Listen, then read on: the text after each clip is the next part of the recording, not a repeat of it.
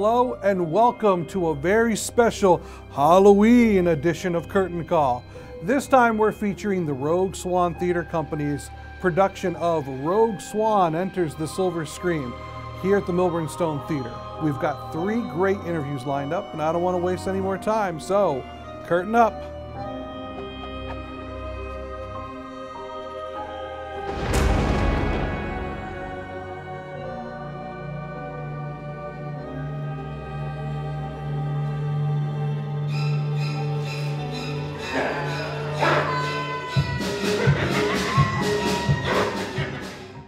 So, first up, I have Katie Gordon here. Katie, welcome to Curtain Call. Thank you so much, Andrew. Sure thing. So, uh, this is not your first time on the Milburn Stone Theater stage, is No, it? no, no. I've been here for years. Um, I did I Do, I Do, actually, Mm-hmm. with one of our cast members, Dane Hutchinson, about 15 years ago here. Um, we've done Silver Scream here. I've done Rocky Horror with you here. Mm-hmm. And um, most recently, you and I collaborated on Chicago, Yep, that was uh, a little bit before everything shut down. right before things shut. We did Chicago and everything shut down. Uh, just- there was no. Uh, There was no- there was no on- coming back No encore for that. All right. Uh, so, talk to me about the Rogue Swan Theater Company. So, Rogue Swan is a uh, theater company that specializes in modernizing vaudeville. Um, we're slightly different than community theater because we do not have uh, normal auditions. We have a core company of players, and those players include um, our musicians, they include our actors, our dancers, and they travel from show to show with us so that as we do vaudevilles, we can keep building on initial characters. Can you tell us a couple of the other former Rogue Swan shows that you've put together, your vaudevilles, etc.? So we have done three different vaudevilles that build on each other. Um, Genesis, it goes into Last Call, and then the next chapter. And each one builds on different characters. For example, we have a tattooed man that every time we come into the theater, uh, every time we start a vaudeville, we're actually physically walking into an old time town as an old time vaudeville theater. So we have a belly dancer, we have a tattooed man, we have a, uh, a knife thrower. So we have all of these different characters, and each vaudeville travels with these same characters so that the audience has the ability to connect to them. Excellent. So, switching to Rogue Swan enters the Silver Scream. this is not the first time that Silver Scream has been presented. Can you give us a little bit of history on Silver Scream? So, Silver Scream is a show that my brother wrote, and our friend James Taylor, not the James Taylor, but our James Taylor, um, did the composition, music composition for, and I'm the original choreographer. Um, we started doing it back around the mid 90s, around 96. Um, it's been done so, several times. It's been done to the point that the person who is the director that you're going to talk to, Lily, was actually a toddler when we first started doing it. My children, Jess and Josh, are the voices of the babies that you heard in some of the recordings during Silver Scream. And now Jess is 24 and one of the leads in the show, and Josh is 22 and he's our bassist. So we have done this show our entire family's worth, I guess. Excellent. My kids have grown up with this show. yeah, it's definitely a generational show as it keeps on Absolutely. growing. Absolutely. All right, one last question for you, Katie. Mm-hmm. Why should audiences see Silver Scream? Audiences should come see Silver Scream because where else are you going to ever experience a musical haunted house with your entire cast and and set in glorious black and white? You're just not going to see that these days. It's not going to happen. Musical haunted house, come to Silver Scream. There we go. Thank you very much, Katie. Thanks, Andrew.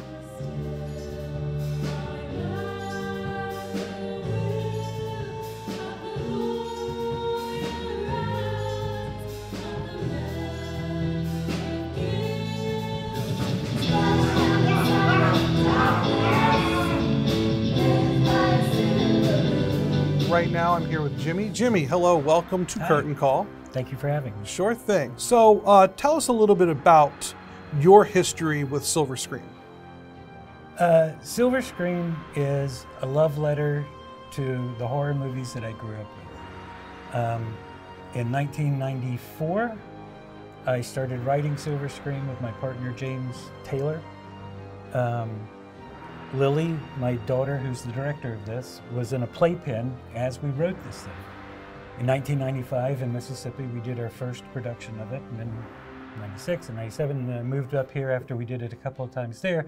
But we had done a bunch of things. We did uh, a kids' version of uh, Jungle Book called The Jungle. We did a kids' version of, uh, or not a kids' version, a, a kids' musical called The Milky Way Mars and Other Candy Bars, which is just a kind of a space journey. Um, and then we did Silver Scream, and Silver Scream the first year was very much a kids' show. Um, as it aged, I wanted to get more edgy with it, which I think was wrong. Uh, I think I did it a disservice, and, and so I've pulled it way, way back. It is certainly not a G movie, but it's PG, or not a play, but it's PG now. Uh, at some point when we were doing it down in Baltimore, we had made it very, just lots of blood and gore. And, but uh, after I started making my little Chainsaw Sally movie and the Good Sisters movie and all that kind of stuff, I kind of got that out of me and it's like this is this is supposed to be a celebration of these movies and Halloween. Uh, lyrics all through this thing talk about Halloween, and so I, I, I just pulled it back to something for families to experience together.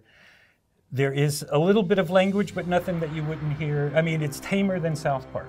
So There you go. uh, so that that is, I've been in love with horror movies um, since I guess first grade. Speaking of your love of horror films, and certainly you mentioned Chainsaw Sally, you're an accomplished film director yourself. Can you kind of talk to us a little bit about the films you've also made? So, uh, Chainsaw Sally, um, well, we made just kind of on a whim uh, a movie of Silver Scream. Uh, and we made it with student stuff, and I'd never made a movie. I'd never wanted to make a movie. Uh, I like seeing movies, but I always thought before the digital age hit that movies were beyond my, you know, we grew up in a trailer in Mississippi, so making a movie was just not on my radar. Um, so I got a chance to make the Silver Scream movie, and it was pretty well received, even though it was very much a homemade movie. Uh, a producer in Baltimore said, What about this Chainsaw Sally character, which we had developed to promote Scream? Chainsaw Sally was our Elvira. And she surpassed Silver Scream significantly because she looked like Chainsaw Sally. And um, we asked Herschell Gordon Lewis, who had kind of become in contact with us, who is the godfather of gore. Herschell Gordon Lewis did Blood Feast, uh, 2000 Maniacs, all the really, the beginning of the gore movies in the 60s. And he, he agreed to do a part in it. And I was the first person to ever direct Herschell Gordon Lewis, which was kind of cool. Yeah. Uh, then we accidentally met Gunnar Hansen, who was Leatherface in the original Texas Chainsaw. And uh, because he had become a Chainsaw Sally fan. and so we asked him to play Chainsaw Sally's dad in the movie, and so he did. So we had a little bit of, you know, just a, we had a very little bit of money and a little bit of cachet, everything. And, and it did well for an independent movie. Um, it came out, I guess, 2005 or so, and it did its thing, and it made some money, and, it, and but it went the way of all independent movies, which is okay. Now it's just streaming somewhere, and it is streaming. You can see all my movies like on Tubi and Amazon and all that stuff. Um, but that was it. Uh, we're going to do one more Chainsaw Sally show. Uh, we decided after we did the couple of movies, and uh, I didn't follow up on the movie thing because I, I didn't want to move. I had kids here. I didn't want to torture. Put I didn't want to put uh, Jazz and Lily through me going to the West Coast and trying to do this thing that I didn't really know if I wanted to do. And I just de Grace is safe and it's it's happy and it was a good school and it's like I would be a bastard to do that. So we just made our own little TV show on the internet. Um, two seasons of the Chainsaw Sally show. And what was weird is we did it, it I'm not making claim to any pioneering. Before Netflix or anybody was streaming full shows on TV, we did that. We had it on our own server and it crashed our server many a time, but thousands of people watched this thing on online. And so I put up one, two, three, and then when the fourth one came, I would bump off the first one. So by the time word of mouth got around and we got to the end of the season, the only way to see it from the beginning was to buy the DVD. Mm, there you go. And it worked, and it helped us pay some rent. Um, so we did that, and we're, we were right before uh, COVID hit. We were about to do one more season just because we're aging out of, you know, running around with chainsaws. and um, COVID. So it got put off, and hopefully we're going to do it in the spring. Just, I don't know. I don't know how many times we're going to do Sally, but hopefully at least one more. So you're also a very accomplished artist. Um, I know that you've done work throughout de Grace and other Yep. areas. Can you expound a little bit about some of your favorite art that you've created? Whether it's just clearly there's film, there's also working on things like the set for Silver Scream, but there's also just a little bit about your art. Uh, in the prehistoric days of VHS video stores, um, I got a job as a video clerk, and they were building a new store uh, in what is now um, Constant Friendship. And the owner said, Hey, do you want to paint some murals in here? And I was like, Yes. So I painted the entire store of murals. Warner Brothers guy came in, and I started working for Warner Brothers from here because at that time, the main office of East Coast Warner Home Video was right over the line in Virginia, which is why he was here at all. Um, and so I did Bugs Bunny's 50th birthday. I did uh, Beetlejuice, the Michael Keaton Batman, um, Gremlins 2. Uh, just, just Joe versus Volcano. Just all the. Ironically, we made a, an eight foot vol- fake eight foot volcano, and they shipped it Hawa- to Hawaii. And I'm going, well, Hawaii for a volcano? You? I'm al- almost sure if they have windows, you, you're good. but um, so that got me going into this weird thing, and uh, then I wound up making sets for Harford Community College and other places here and there. Um, and somehow I wound up being a medical illustrator at Johns Hopkins for 18 years, all because I lied about my resume.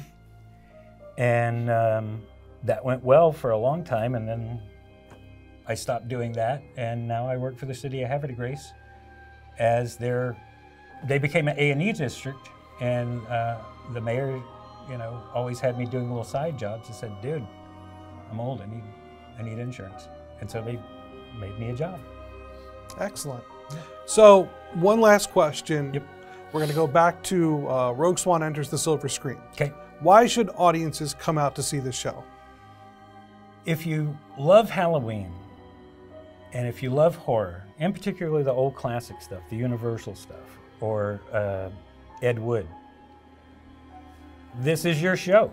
This is not the show for the people who are looking for the Wells Fargo wagon. This is the show for the people who will dress in black. Excellent. Hey, thank you very much, Jimmy. Thank you. The black shiny coffin delivers your hope. We dream of our lovers and the lives that they And finally, I'm here with Lily. Lily is the one who adapted and directed this production of Silver Scream.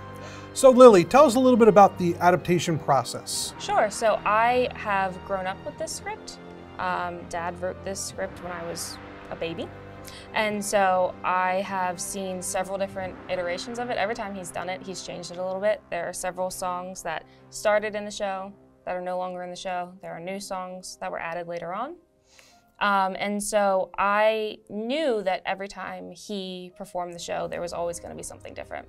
And so when Katie and I decided now was the moment to do Silver Scream, we sort of talked about it and said, what, how are we going to make it ours? And we decided, well, we have this established troupe of actors that we have been with for years now, and we've created stories around them. So, what would happen if they were the ones that went into the silver screen versus these random people that we didn't know beforehand. And that was the starting point. Uh, my goal was to take, and I took the 2012 Silver Scream script that we did at Harford Community College, and I took that as my base. And I tried to be as respectful to the source material that my father wrote as possible, and tweaked and changed things that were specific to what would affect our people. So a lot of the writing is still dad. And then some of it's mine thrown in, or I've changed who says it, those sorts of things. So it was really a careful balancing act between wanting to make sure it made sense for us, but also respecting that my father wrote this and it's been going on for 28 years. Sorry, Dad, 28 years at this point, pretty much. So that's how I went about it, very, very carefully. Sure. So literally, when you say Rogue Swan enters the silver scream, it's the Rogue Swan Theater Troupe entering what is the silver screen, I imagine, right? Exactly. So the Silver screen is this black and white horror realm.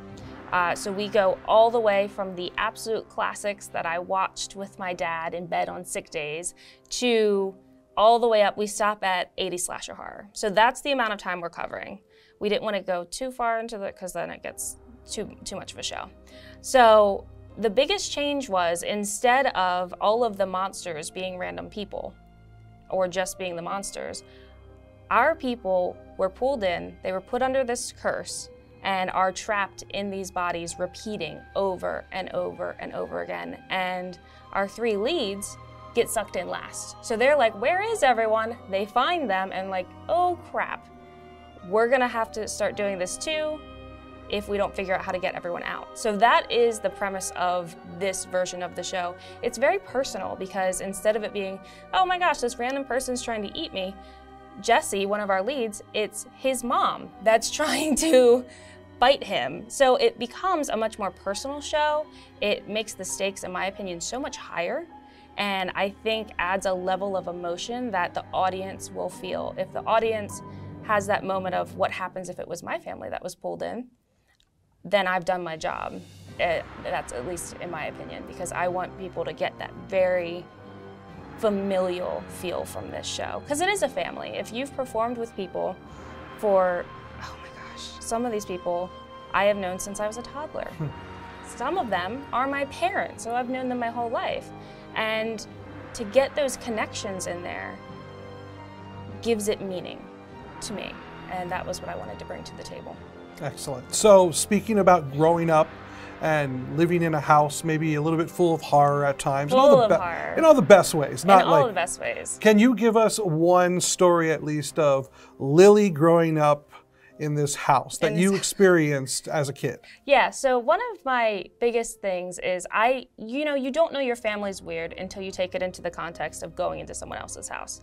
So to me, it was normal that we had horror movie posters, all of the action figures. It was normal that when I was sick in elementary school, dad would stay home with me and we would sit there and watch the classic horror movies, the old Dracula. Um, and then I would have a friend over and it was like the house was a museum. They couldn't stop looking at everything. They had all of these questions. I'm like, what? You don't have a chainsaw hanging hanging up? That's weird.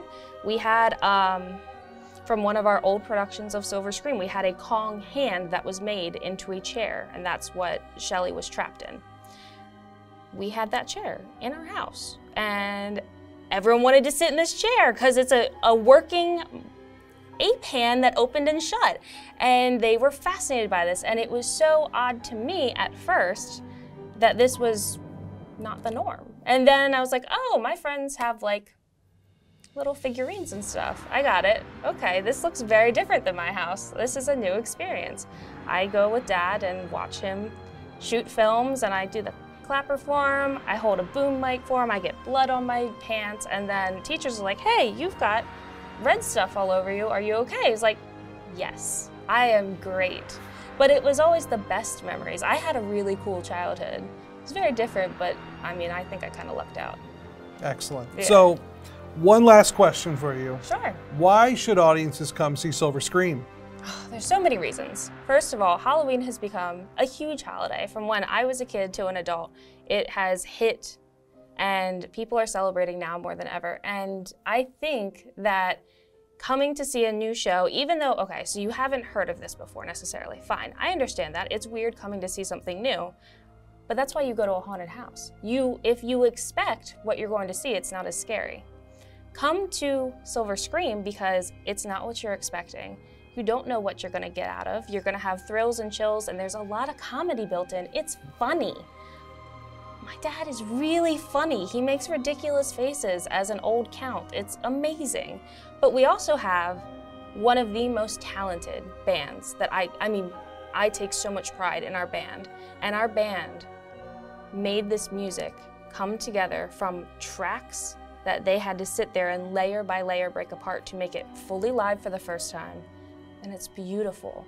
The dances are phenomenal, and our people together are something truly unique in my mind. So I'd say take a chance like you would a haunted house or a new movie or anything else. You are going to have an amazing time. Excellent. Thank you, Lily. Thank you.